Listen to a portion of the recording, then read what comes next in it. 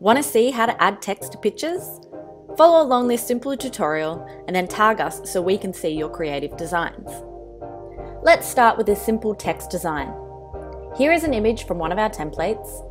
Let's add some text. To do this, head to the PicMonkey editor and click the Text tab. There are a few things to take note of here in the Fonts menu. Firstly, there is a Recently Used section.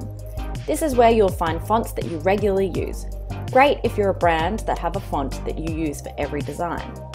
Next up is Upload your fonts.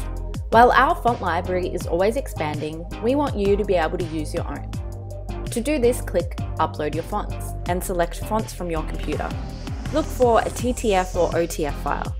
What's great is once you upload your fonts, you can use them on any computer when you're logged into PicMonkey.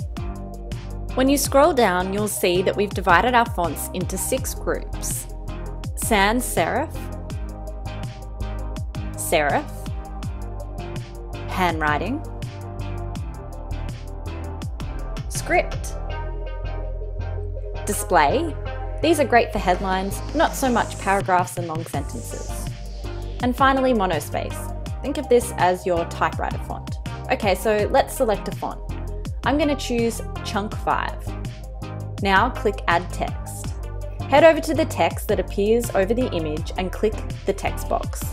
Start typing. Now we have some text. Let's take a look at the text palette. This is where you can create some magic.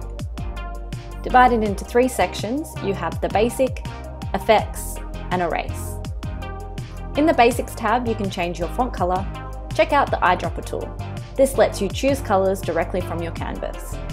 You can also change the size, play with the alignment, as well as fade and blend.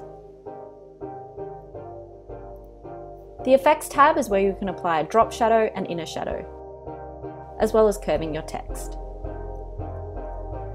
Lastly is the Erase tab. This is a magic tool that allows you to erase text. Great for when you want it to appear as though it's sitting behind an image. If you decide you'd rather another font, click on your text, head to the font menu, and select another one. Pretty simple, right? Let's do another. Let's create a thrift store sale post. First, let's add some basic text. Remember to do this, go to the text tab and let's look for a sans serif font like Montserrat. Click Add Text. Because we're going to use this font twice, let's duplicate the text. To do this, right click and select Duplicate. Click the text box and type some text. Now let's create a bold headline using the font Anton. Because I'm going to arrange my text diagonally, I'm going to create each letter as a separate layer. A great way to ensure that your text is level is to switch on your grid and alignments. This is located next to your layers palette. Simply switch it on and select the correct preset.